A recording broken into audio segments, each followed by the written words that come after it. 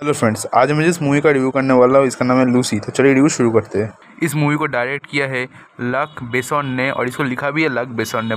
बात करें कास्ट के बारे में तो कास्ट में Scarlett Johansson as Lucy Morgan Freeman as professor Norman Choi Min Sik as mister Jang Amr Waked as Pierre Del Rio Julian Rhind Tutt as the limey Pilou एब्जेक as Richard Leo Tipton as Caroline and Nicolas Phongpheth as Jii तो मैं जब ये movie देखने बैठा था, मेरा hype काफ़ी अच्छा था, क्योंकि मैंने बहुत सारे रिव्यूज़ देखा था इसका, जहाँ पे इस मूवी को लिटरली मास्टरपीस बोला गया था लिटरली बहुत ही ग्राउंड ब्रेकिंग बोला गया था।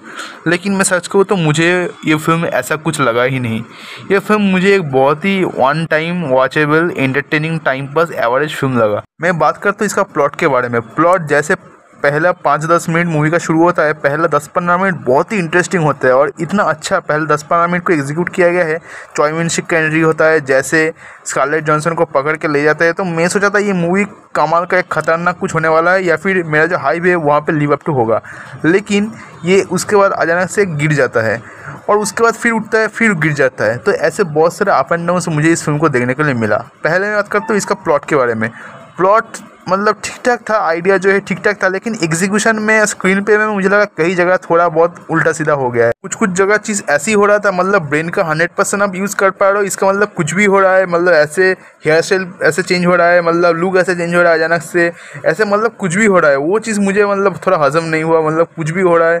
और ऊपर से मुझे और एक चीज़ अच्छा नहीं लगा कि कुछ कुछ जगह में कट ऑफ़ करके अगले सीन दिखाई दे रहा है। मतलब उस टाइम स्कारलेट जॉनसन वहाँ से, वहाँ कैसे आया, या फिर पिछले का जो सीन था, वहाँ से रिकॉर्ड कैसे हुआ, वो आपको पता नहीं चलता है, जो कि मुझे एकदम बुरा लगा। स्क्रीन पे बोलिए बहुत ही फास्ट है मतलब एक घंटा तीस मिनट का सिनेमा है तो आप समझ सकते हो कितना छोटा और कितना फास्ट फ़िल्म है, और बहुत ही फास्ट फ़िल्म है। मतलब कैरेक्टर डेवलपमेंट उतना अच्छी तरीके से किया ही नहीं गया है, बहुत ही फास्ट फ़िल्म है। बात करें पॉजिटिव पॉइंट करें में तो एक्टिंग सबके एक्टिंग कमाल का है। स्कारलेट जॉनसन और Morgan Freeman Choi Min Sik ये तीनों किस बीट का एक्टर है आपको तो पता ही है, खास करके चॉयमिन सिंह और मॉर्गन फ्रीमैन ये दोनों तो मतलब फाड़ ही दिया है। वैसे मॉर्गन फ्रीमैन का उतना स्क्रीन टाइम नहीं है, बहुत ही कम है। या मैं बोल सकता हूँ पूरा फ़िल्म में 20 से 30 मिनट तक का है।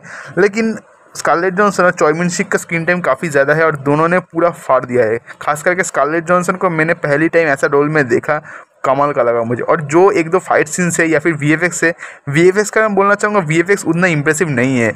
शायद ये बजट की वजह से या फिर मतलब ग्रीन स्क्रीन ऐसा मतलब मैं समझ रहा था ये ग्रीन स्क्रीन का यूज़ है। तो वी एफ़ उतना इंप्रेसिव नहीं है। लेकिन जो एक्शन सीन्स कोरियोग्राफ किया गया है वो मुझे काफ़ी अच्छा लगा।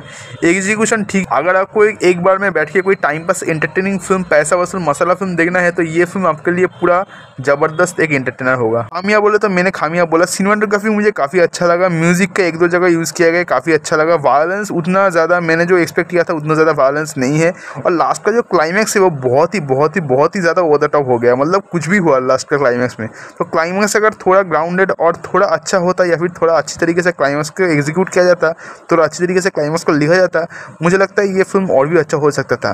लेकिन ओवरऑल मैं बोलूँगा ये फ़िल्म एक ठीक ठाक वन टाइम वॉचेबल फ़िल्म है।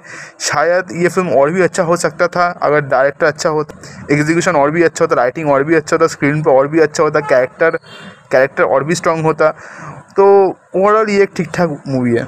मैं एक चीज़ सोचा था कि जो एक्शन फ़िल्म में होता है कैमरा लेके बहुत ही मतलब कैमरा शॉट जैसे कैप्चर किया जाता है या फिर सिनेमाटोग्राफी या फिर कैमरा वर्क बहुत ही इम्प्रेसिव और यूनिक होता है, लेकिन यहाँ पे वो कुछ भी मुझे देखने को नहीं मिला। मतलब कैमरा बॉक्स एक्शन से मैंने सोचा था थोड़ा बहुत यूनिक होगा, थोड़ा बहुत कुछ हटके होगा, लेकिन वही same to same action scenes में कैमरा शॉट्स कैमरा वर्क किया गया है, जो कि मुझे उतना पसंद नहीं आया एवरेज बोलूँगा मैं।